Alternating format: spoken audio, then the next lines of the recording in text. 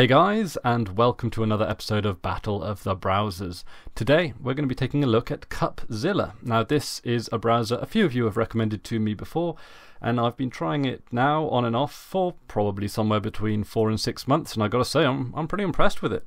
Um, it basically renders the kind of performance and features that we expect from the likes of Firefox and Chrome, but while at the same time being all part of a lightweight browsing experience. So, to look at this browser just off the bat, you would be forgiven for thinking that it is just a Qt version of the Epiphany browser, the browser that is part of like the GNOME applications. Now that's not a bad browser. It's a little light on features, but if you're looking for a for a browser that integrates well with GNOME, then then web slash Epiphany, whatever you want to call it, is fine. This is this is a, a step up. I feel I, I feel that this is a step up. So of course this is this is a native Qt application. Um, so it would naturally fit better within things like um, LXQT and the KDE environments. But I'm running it here on GNOME and I've run it on XFCE with zero problems, zero issues. It looks great, it themes well, it themes naturally. That's great. One of the things that, of course, Epiphany was lacking was a bookmarks bar. And it seemed that they did this intentionally to minimize the user interface. I actually like the bookmarks bar. It, I have a lot of websites that I go to regularly, and instead of having loads of tabs up, I like just, I can just click on a a thing and open up a new tab. Easy as that. Uh, and it is, it is very, very snappy. It's a good multimedia browser. It supports all of the standard video streaming and video on demand services. As you can see here, if you go to youtube.com forward slash HTML5, you can kind of see what kind of video device, uh, video codecs your browser supports. It's got the lot here. I'm going to just take a look through the preferences window here because this tells you quite a lot. So it gives you, as you can see here, all of the standard kinds of you know what's your home page. It gives you some appearance things, so you can you can mess around with themes. Um, it gives you some oh tabs tab behavior. So it, it gives you that's quite I think that's probably more than than what Chrome gets you.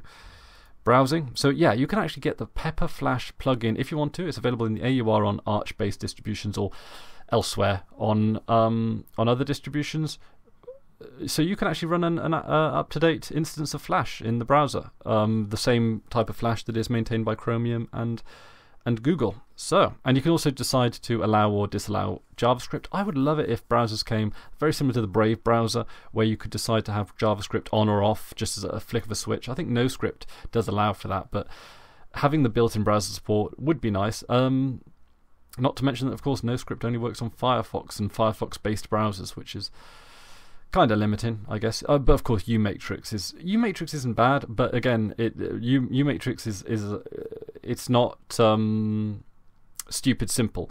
Um, uBlock Origin's not bad actually, but anyway, I am uh, digressing. There are ways that you can disable JavaScript in reasonably easy ways on other browsers. Um, this can this can only be done through the preferences menu, of course. So if you if you want to be selective with JavaScript, that's this is probably not the uh, the browser for you. Chooses fonts. Uh, gives you notification, gives you some privacy, so you can manage the cookies, all that kind of stuff. So it's and it also gives you the do not track uh, header. So all in all, good features, good features, well featured. You know, it's um, it's a full featured browser.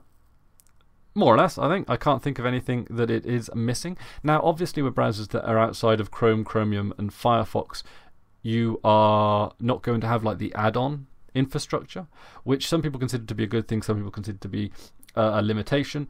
Um, as long as the browser does what I want it to do, which is the basic tasks of a browser, I'm more than happy using other Linux applications to basically make up the difference. I don't necessarily need a screenshot website screenshot tool in my browser. It helps if I'm running GNOME, uh, if I'm help, it helps if I'm running Chromium, and I'm just sort of taking a screenshot of a web page. But then again, there are Linux applications that can do that pretty much just as well. So um, it doesn't typically bother me that this that, that browsers that aren't Chromium and, and Firefox don't have as many uh, third-party plugins.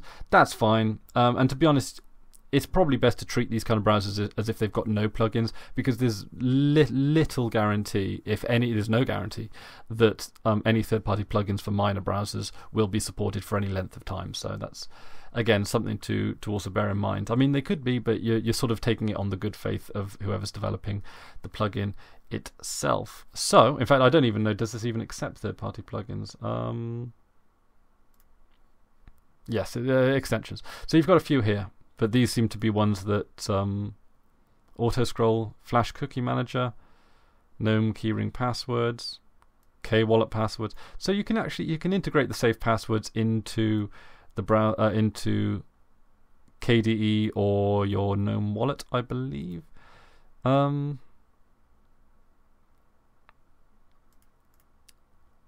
and I'm just gonna try, I'm just trying to find out uh, if yeah.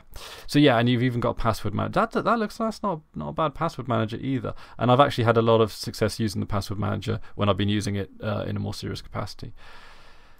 One of the things I do like about it is that it doesn't have the cloud syncing service that Firefox and, and Chrome and even Chromium has.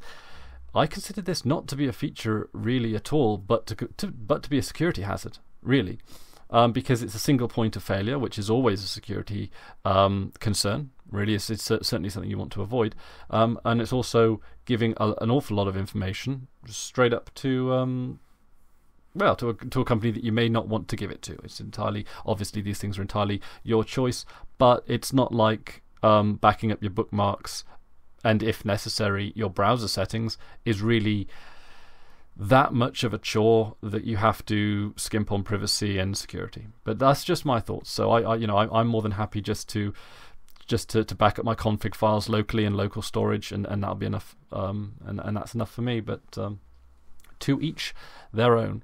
A good browser certainly worth a recommendation. I do like it. It's lightweight. It it runs well. It runs. Uh, each of these um, tabs is a separate instance. It's a separate uh, session. It's a, it's a separate um, process, which makes for very smooth browsing, a very smooth browsing experience. It allows you to move across tabs very quickly. So when one tab's loading, you can just move over to another, and then whilst the tab is loading in the background, it's going to have like pretty much zero impact on on other pages. So it uh, it makes for a very smooth browsing experience. But I got to say, you know, these these are provisions that you've got to sort of uh, look at for yourselves and work out uh, what you require and how to go about it. So that's about it from me today. Thank you very much. Um, I don't want to waffle on too much about what is a pretty straightforward browser, really. But it is one that I recommend you guys check out, especially if you're on Qt environments. If you're if you're looking for a browser that sits natively within your desktop environment, it looks pretty native in, in GNOME, as you can see here, and XFCE.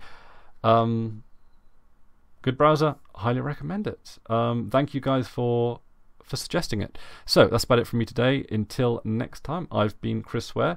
Uh, you've been having fun with. No, you haven't. That was the wrong outro. I was going to give you the fun with flags outro. I was going to say, uh, I've been Chris Were and you've been awesome. And um, what I'll do is at the end slate, I will put a link to my latest podcast that I've done with some friends. It's over on a different channel, but if you guys are interested in just a little bit of casual banter with me and some friends, um, you can go and check that out. And if you want to subscribe to that channel for weekly podcasts, you can also do that as well. So, anyway, thank you very much for watching. That's about it from me today. And until next time, I've been Chris Were, and you've been awesome. Take care now.